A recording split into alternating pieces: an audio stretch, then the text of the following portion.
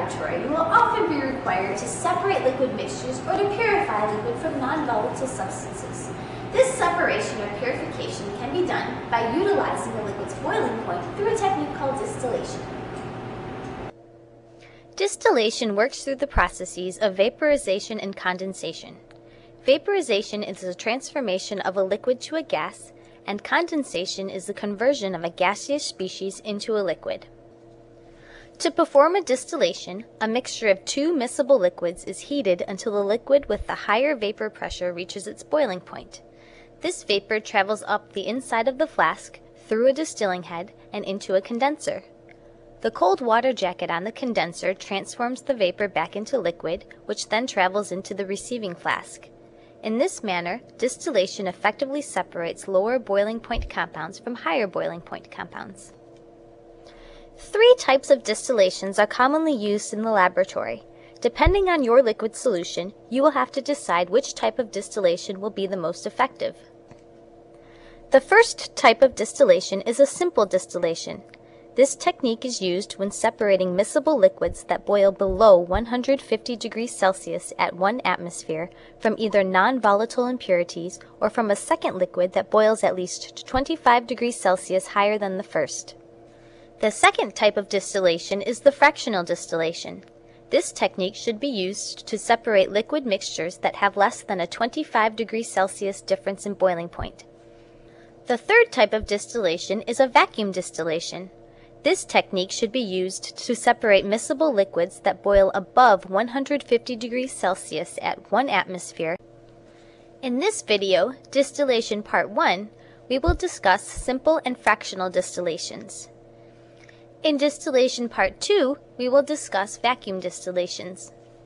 To carry out a simple distillation, you will need a cork ring, a round bottom distilling flask, two ring stands, a stir bar and magnetic stirrer, a distilling head, a condenser, a vacuum adapter, grease, three yellow keck clamps, a thermometer and thermometer adapter, three round bottom receiving flasks, two extension clamps and fasteners, a heating mantle, an iron ring, a variable voltage transformer or variac, three hose clips, two pieces of rubber tubing, and a container for an ice water bath. The first step in performing a distillation is choosing the proper size distillation flask. The distilling flask should not be more than half full or less than one third full when the distillation begins. If the flask is overfilled, the solution will likely overheat or bump into the condenser. Bumping will cause impurities to be collected in the receiving flask, rendering the distillation worthless. If the flask is less than a third full, then you'll have a greater chance of losing some product because a substantial amount of the material will be needed just to fill the flask and distilling head with vapor. While we're on the topic of size, we'd like to speak briefly about heating mantles. If you do not have an appropriately sized heating mantle, then use one that is too big.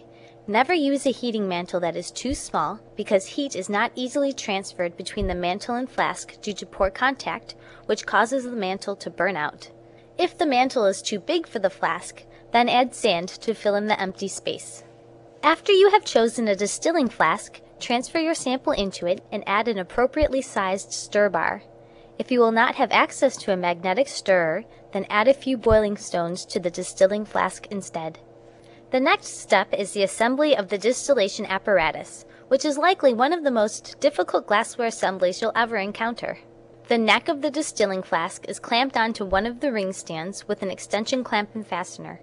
A heating mantle, which is plugged into the variac, rests on an iron ring below the distilling flask. If you're using a stir bar, then place a magnetic stirrer underneath the heating mantle.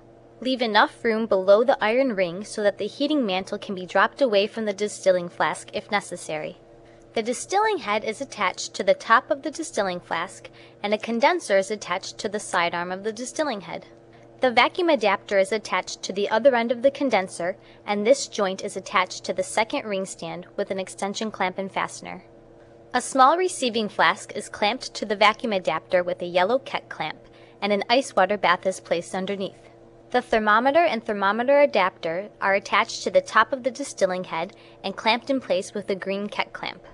The top of the thermometer bulb should be aligned with the bottom of the sidearm on the distillation head. Yellow Keck clamps are used to secure both ends of the condenser. Rubber tubing is attached to the water inlet and outlet of the condenser and secured with hose clips. Finally, place two clean dry receiving flasks near the distillation apparatus.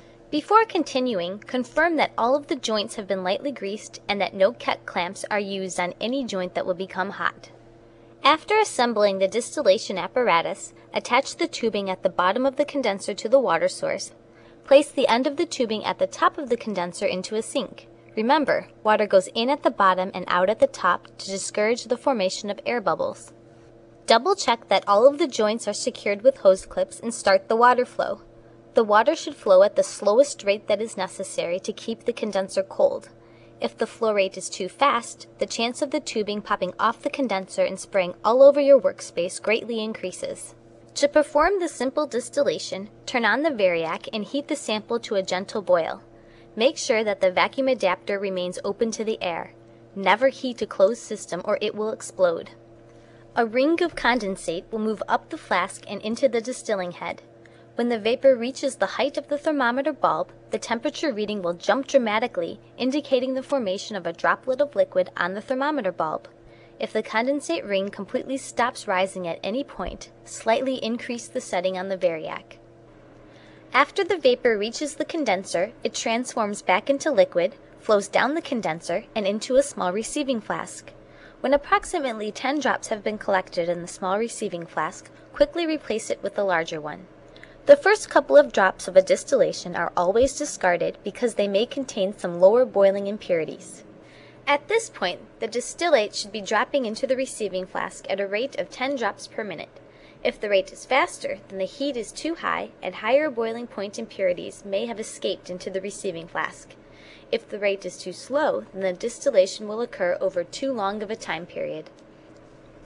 After the lower boiling liquid has been completely distilled, no drop of liquid will be on the thermometer bulb, and the temperature will plunge dramatically.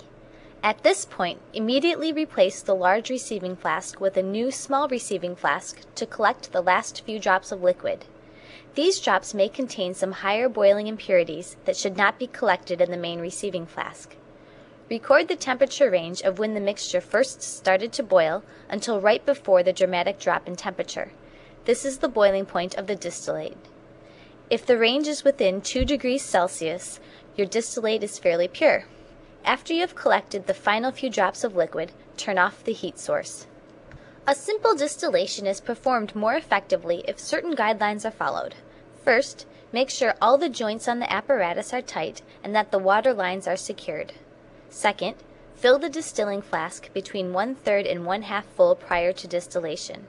Third, allow the distillation to proceed at a rate of 10 drops per minute. Fourth, use separate receiving flasks for the beginning, middle, and end of the distillation to disallow low and high boiling impurities into the distillate. Fifth, never let the distillation flask run dry. A flask that is allowed to run dry may overheat and break. The second type of distillation that we will cover is the fractional distillation. This technique should be used if you need to separate two liquids that have a small difference in boiling point, less than 25 degrees Celsius. A fractional distillation is more effective at separating liquids with similar boiling points because it utilizes a fractionating column. A fractionating column contains column packing with a large surface area and works by promoting a lot of tiny distillations on the surface of this packing. Specifically, when the liquid mixture is heated to boiling, the resulting vapor is richer in the lower boiling component. The vapor moves out of the flask and condenses on the bottom few centimeters of the fractionating column. Now, the condensed droplet is richer in lower boiling component, and the liquid in the distilling flask is richer in the higher boiling component. If that liquid droplet is reheated, it will vaporize and condense a little further up the fractionating column.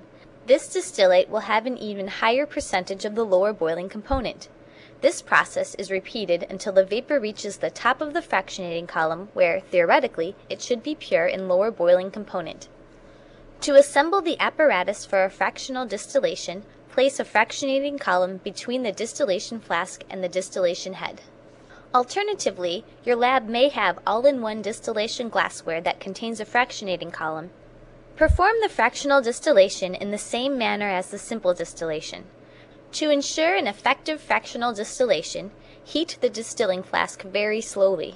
Too much heat causes the distillation to occur too rapidly, disallowing the liquid vapor equilibria on the surface of the fractionating column. If too little heat is used, then the column may lose heat faster than it can be warmed up by the vapor, preventing the vapor from reaching the top of the column. If the column seems to be losing heat faster than it can be warmed up by the vapor, you may insulate the column by wrapping it with glass wool or cotton and aluminum foil. As a general rule, a slow, steady distillation where one drop is collected every two to three seconds is reasonable. Distillation is an effective technique for separating and purifying liquids. When used correctly, pure compounds and good yields are readily attained.